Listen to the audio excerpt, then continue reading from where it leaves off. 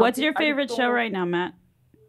My favorite, sh- I mean, all around type of thing. Yeah, that you're Game watching of right now. Thrones? Game of Thrones. Well, okay. Game of Thrones, you know, I'm, I'm, I'm deep into that. I read all the five, I read five books. I read all the books that Okay. was out. What side of the controversy I'm are you on then? that. What side of the controversy are you on with this last episode of uh, Game of Thrones? see, I understand, and like, see, I have three daughters too, so I'm all. It's not, it's not like I'm, like, like, oh man, I don't want like, uh, what's her name, Khaleesi on the throne. I'm, I'm all for like all that type of stuff, but it's one of those things where you're never gonna win in this type of situation. Like, so many people love.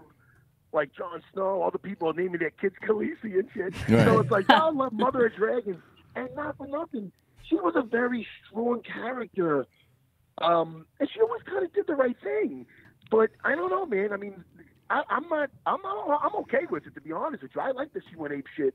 And I mean, that last episode, that last episode when she heard the bells, and you see in her head what's going on there. It's like, hey, look, that's kind of cool.